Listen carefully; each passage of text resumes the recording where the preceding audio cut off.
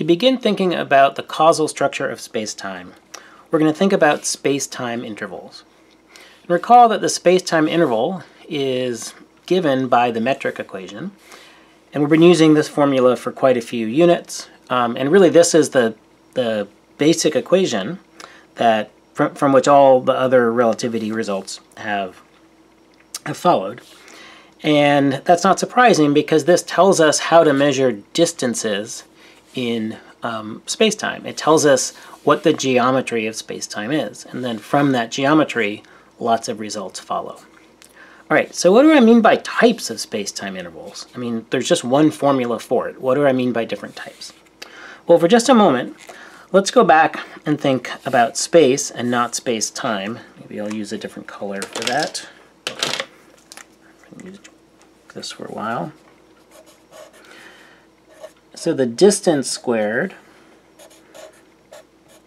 is the x difference squared plus the y difference squared.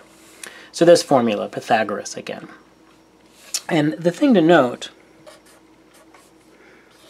is that this is always greater than 0. Oh, well, it could be equal to 0, but that's kind of a boring case. The only way this can be equal to 0 is if, if the two points are the same. Again, remember, this formula gives us the distance between two points, and this is the x separation, and this is the y separation between those two points. And if the distance between two points is zero, the only way that can be true is if those two points are the same point. So this can be, uh, this is positive. The only way it's equal is this boring case where they're only, uh, where the two points are the same. All right, let's go back to think about thinking about the metric equation. Suppose t and x are equal, 3 seconds and 3 seconds.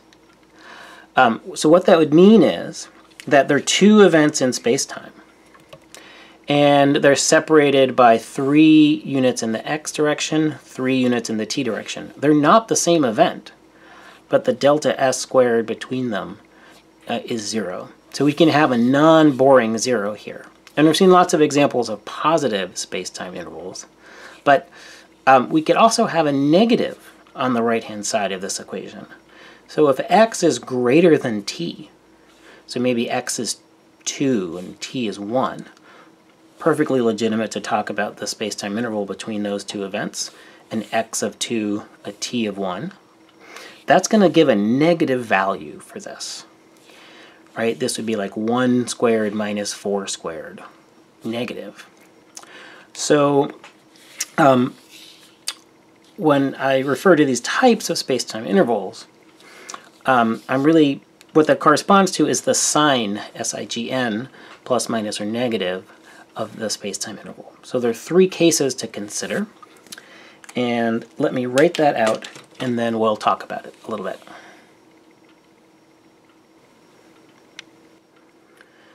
So there are three types of spacetime intervals, and they correspond to whether or not the spacetime interval or the squared spacetime interval is positive, zero, or negative. And these three cases go by these three names. If uh, delta s squared is positive, we say that the spacetime interval is time-like. If it's zero, we say it's light-like. And if it's negative, we say that it's space-like. Um, and traditionally, these are written as all one word. Um, so you might think there should be a hyphen here, but there's not in physics.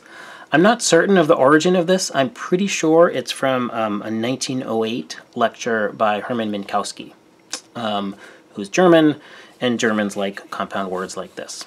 Um, I'm not 100% sure of that, but we'll revisit Minkowski um, in the last unit of the course. In any event, three different types of space-time interval time-like intervals are actually what we've been working with all along. So in the next video, because it's familiar, I'm going to start here and say a little bit about time-like intervals. Like what's time-like about this interval? Why that name? Then we will um, talk about space-like intervals, which is a, a new thing. We haven't thought about space-like intervals in terms of the metric equation before, so we'll need to unpack um, some results and see why this is called